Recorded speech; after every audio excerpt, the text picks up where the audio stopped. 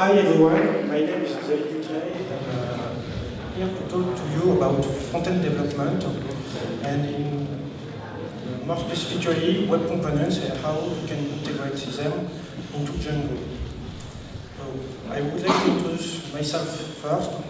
This is the first time I'm here and uh, to be honest, I'm not a front-end developer or back-end developer, I'm something more general, which is called web developer. And uh, I do that for five years, and uh, it's only recently that I started to uh, program in Python and Django. I started last summer when I joined Polyconseil as a lead front-end developer, where I work on um, all kinds of services, like Autolib, which is an electric car services, and uh, I code a lot of front ends on these projects, and also I try to help other backend developers to improve their skills in building front end applications. So before introducing web components and what they are, I would like to take some time to explain uh, some problems we have with, with front end. First, building front ends is something complex and really hard we have to master a lot of languages. The most common ones are HTML, CSS, and JavaScript. But if we are not pleased to use JavaScript, we can use other processed languages like CoffeeScript, uh, Dart, and TypeScript. So we have a lot of things to, ma to master. And also a lot of libraries like jQuery if we want to manipulate the DOM in the page. And if we want to go chart, we have another library to master, and so on and so on. We, and finally, we have a lot of framework to use. Most of you are backend developers, and you, I suppose you don't know uh, too much HTML, so you are most likely use uh, CSS frameworks like Bootstrap. And other frameworks like AngularJS if you want to uh, build single application in your front end. And when we are done with all these libraries and framework, we also have, also have to master various tools because uh, because most front-end applications are, uh, can be built, compiled, tested, and deployed with Node.js tools like Bower and so on. If you are interested in those tools, you can uh, re, uh, view the slides later and then click on those links to get more information. And when we are done with all tools, we also have to ensure that the code in the front ends we have built is performance, small, and scalable. And we also have to ensure that the code is uh, pretty small, especially if we want to target devices like mobile, mobiles and, uh, tablets like iPad. We also have to build front ends which are usable by everyone, not just the most teaching ones or what we call the elite ones. We should also have to ensure that we do not want to fool them with dark UX patterns. And we also have to ensure accessibility in our ends. That's something when we build ends, we want to ensure that no matter your disabilities, we want to be sure that you can use them, which is color, uh, which is in terms of color, seeing, hearing, and so on. And one important specification is ARIA, and if you don't know anything about it, you should at least click on the link later and learn about it.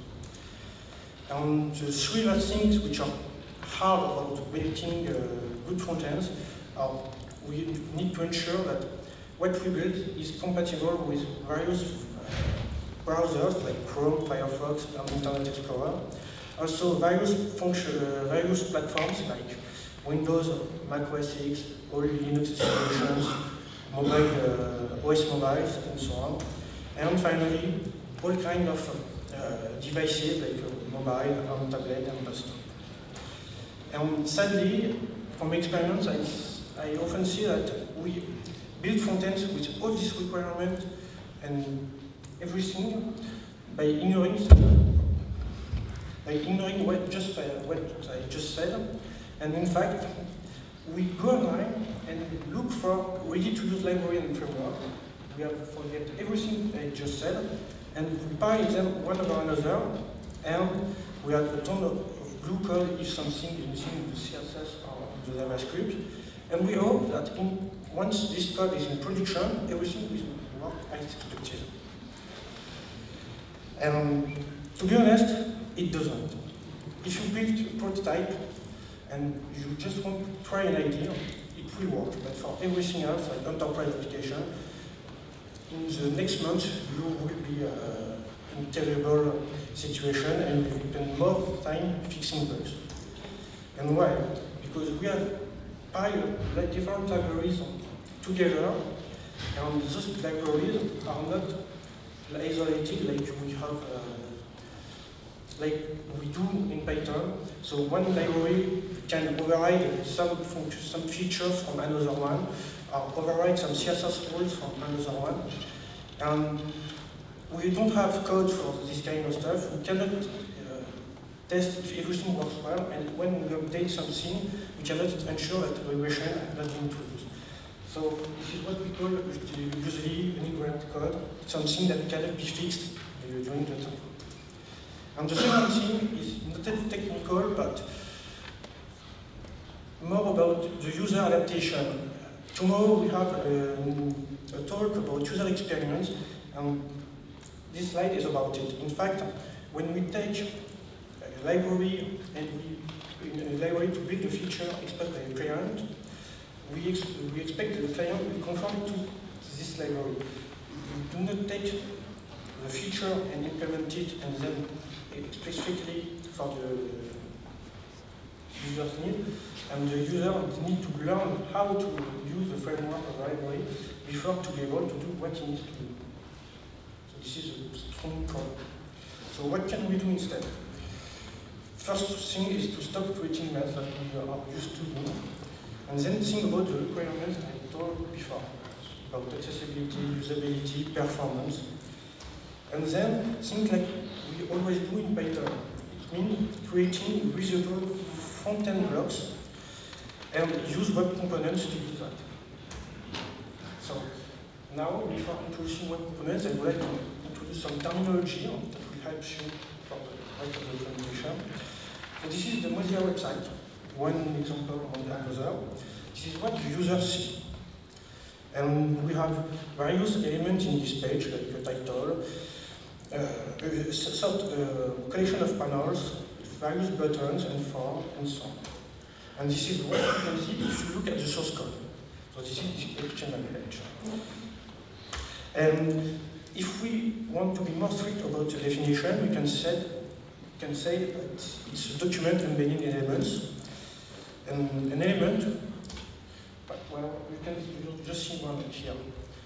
In fact, you will see two. The first one is the select element. We can call it also a tag. The select element represents the list on the Mozilla website that I showed you. And you also have the option element to all the possible potential uh, elements in this list. But these elements are predefined in advance and put into the specification, and this is good. But once we want to display in our front end something which is not in the specification, we are pretty limited. And we cannot add new elements like the set of tabs on the Mozilla website easily. And so what we do instead, then we start to with HTML, CSS, and JavaScript.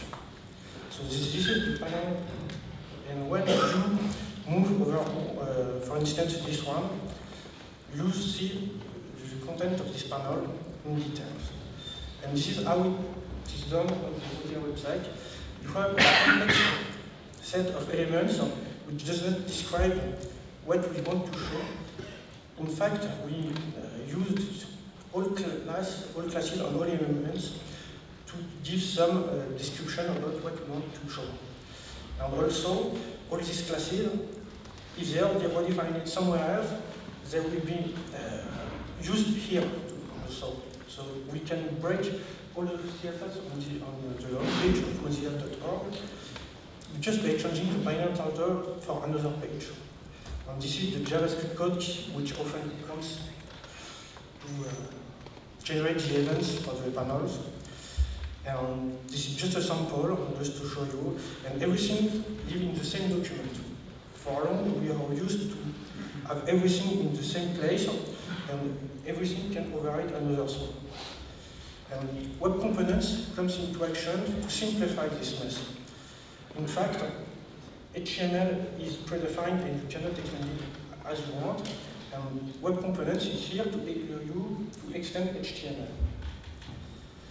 So it comes with four concepts that you, if you do Python and well, you, you may be uh, used to use, and some other new. So the first concept is templates. In fact, instead of putting HTML in the same document, can redefine reusable blocks of uh, HTML template, and for that, you use the template element. So if I take the, the examples of panels on the previous slide, we can extract all the elements that we need to make properly as web components, like the first level accordion. In fact, we use the template type and define everything inside. It's important to know that no browsers uh, display and render the, the, HTML which is inside the template. It just defined as uh, elements, but it is not rendered. And you can uh, embed in this template everything like uh, CSS rules or the HTML or specific JavaScript. And since uh, the accordion uh, is much more complex and contains panels and then title and contents, we can refer to the embedded elements just by including the content uh, element. This is a new the content element is a new tag and only uh, recent browsers support it. We can do the same thing for panel. Uh, we have uh, also included the list element and so on until we have specified all, uh, all ugly HTML as proper web components. The second thing, second thing about custom element that I just use template to describe my HTML, but now I need to register them uh, in the browser. So we can use two things to, to, do this. The first one is just using a new type which is named element and uh, and it's simple as that. And we also only need to give the name of the element we have defined and we are done. And if we don't want to do this in HTML, we can do that in JavaScript. This is uh, this two intuition exists for a long moment. It serves also as defining uh, HTML5 elements in older browsers like Internet Explorer 8. The third concept about web component is a new one. It's called Shadow DOM, and for the first time, we don't include all HTML in the same document. The basic idea is we want to scope the HTML or the CSS rules to a particular element in the, in the document. And if, for instance, we have a document which defines panel class and applies several rules, and we want to build a web component for display on the panel, and we want to redefine these, uh, these rules without overlapping with others, we can use shadow DOM. And this is plain JavaScript. There is no other way to, to define them at the moment. The magical function is here. In fact, we define, we extend an uh, we, ex we uh, extend the HTML, the HTML element to include a magical function. And when this element is created, we will scope uh, our element in order to isolate its CSS and JavaScript.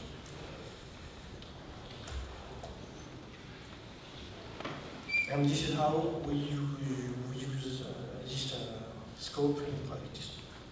This is the same call as before when uh, on the custom element slide, but we just specify all the requirements with the prototype parameter. And the last thing is the HTML import. This one is important. For long, we are used to include with Django every, every, template into the same page. From there, we can forget that. and in fact create specificate, uh, specificated HTML template and import them when we need them.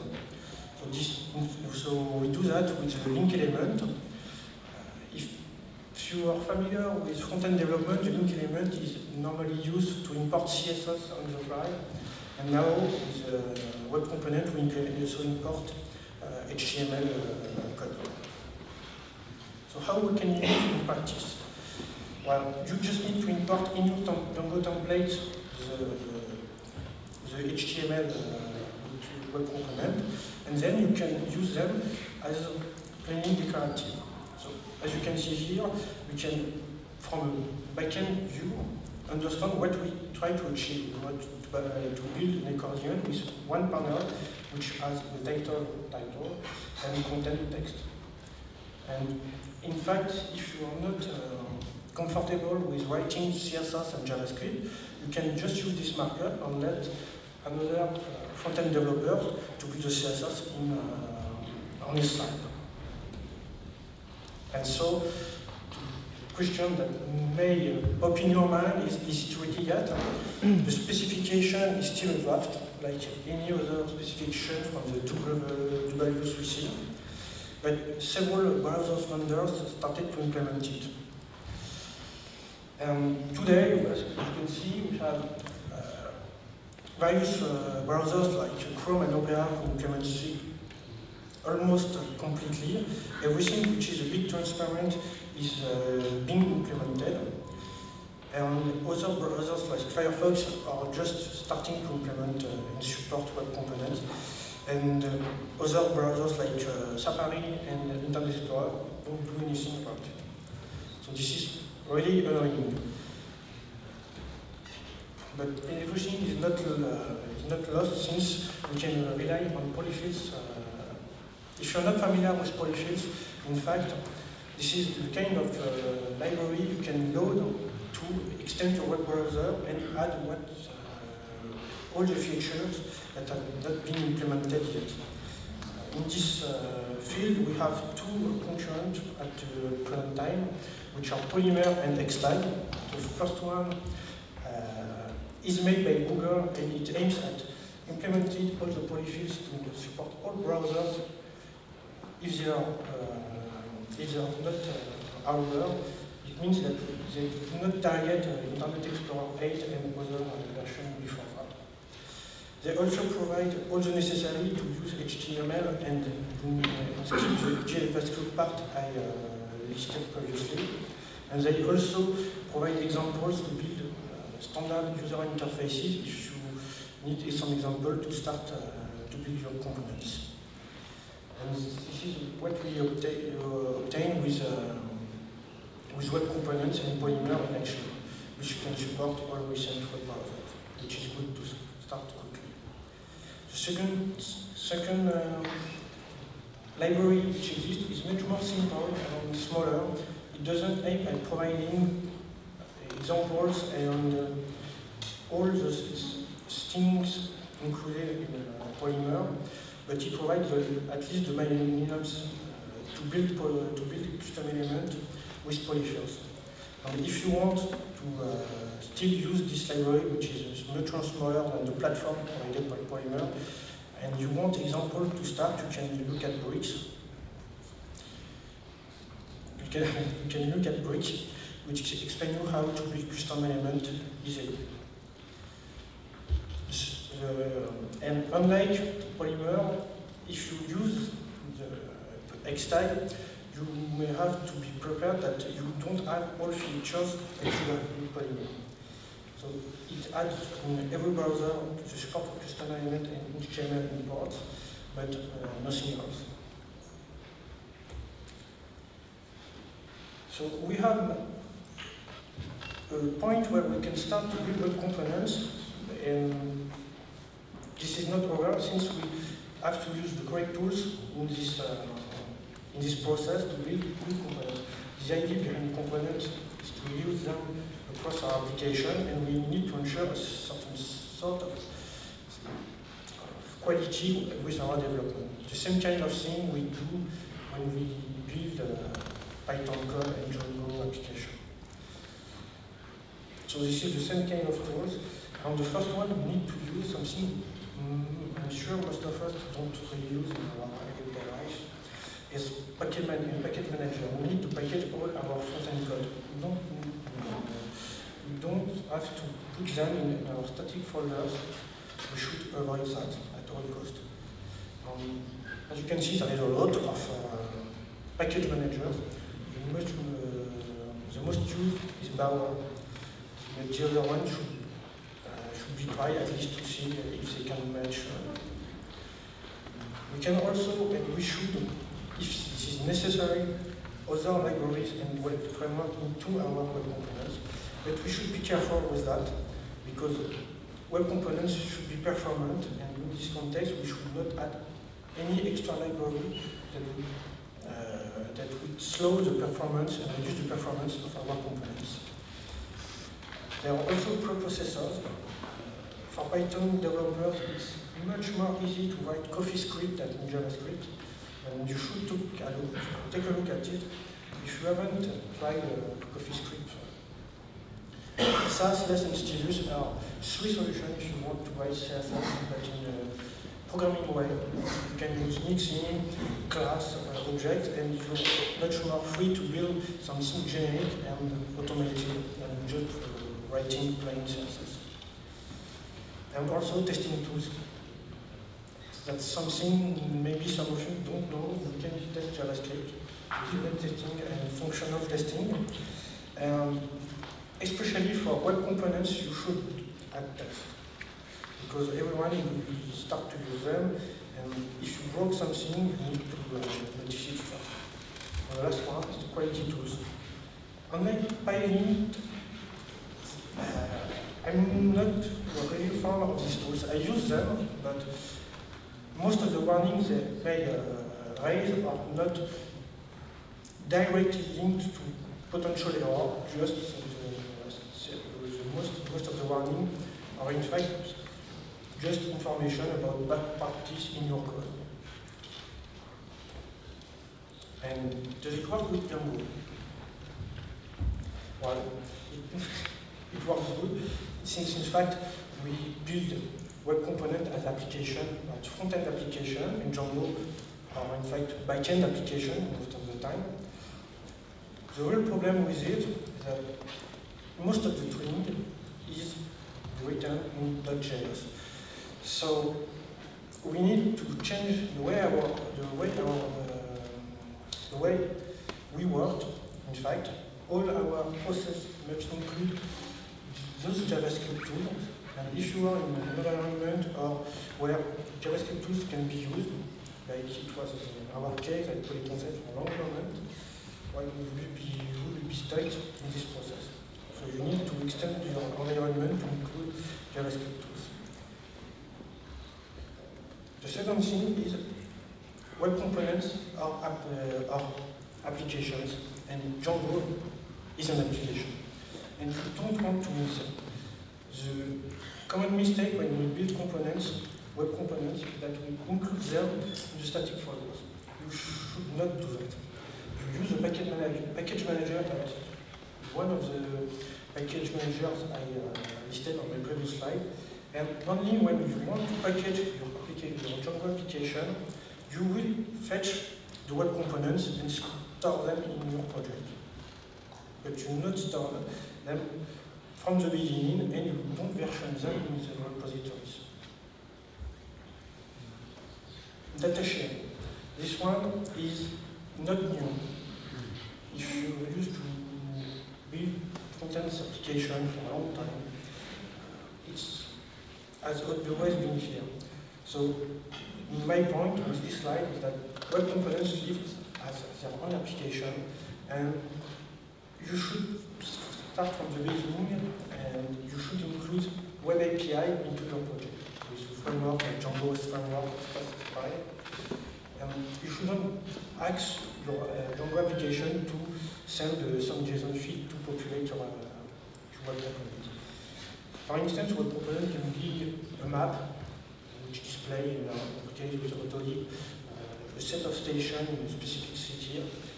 And for this, we need to have an API. If a component is just a field which validates a specific data type, for instance, you don't need an API, a web API. And the last thing is about security. More and more frontends uh, execute complex tasks and manipulate sensitive data like credentials, and like credentials and personal information, and you should not to store them in plain text. If you use local storage, which is an advanced feature of HTML5, you are able to store many, many data, data, but the data can be retrieved easily. You just need to copy the file on disk, and uh, you just need to copy them, and you can read them uh, without any problem. You also need to ensure that uh, authentication is, uh, is in place, especially if your component interacts with, uh, with API. You cannot ensure that someone would not use directly the API without using the component. And also, you should have to be careful about the CORS headers, which means if you host, host your web component on another domain than the web, the, the Django application, you need to be sure that the CORS headers are correctly sent. For those who don't know what CORS is, it's simply a set of headers which allow which remote host can uh, access specific data and script hosted on a particular domain. And it's almost over. I would like to give you some recommendation about web components uh, since I just introduced them. The first one is if you haven't take a look at front-end development in the recent year, well, do yourself a favor and try, try building a web app uh, with modern tools. You will see that a lot of things have changed. We are not building jQuery uh, plugins to build front ends, and things become much, much more complex. The second thing is review your web application, everything you worked on, and try to find where you have built uh, code which are ugly and very specific, something you may have commented as, oh, I will fix that later. And try, if you see that, that some of these codes are pretty redundant and maybe make made generic, then after reviewing the application, start to build, from, build components from this. And also, the front-end community and the Python community are two different things. The front-end community reinvents the wheel every week, and uh, this is pretty sad. And some of you are experienced programmers, and I think that the experience you acquire during your career can be used to build better front-end tools and just and it will change the way that we use their tools. In fact, most of the time um, we use front-end tools like client and in fact we can improve them instead of just waiting for the perfect tools to come into action. And the last thing is you cannot build good front ends today with just backend developers things have been so much complex and harder than before, and we need to hire, hire people to do And I don't mean just front-end developers. I also mean you need to hire people to design user interfaces and experience. Even front-end developers have not right background to build the interfaces or the experience over the time, and we need to uh, increase our team and the skills our team has. Thank you.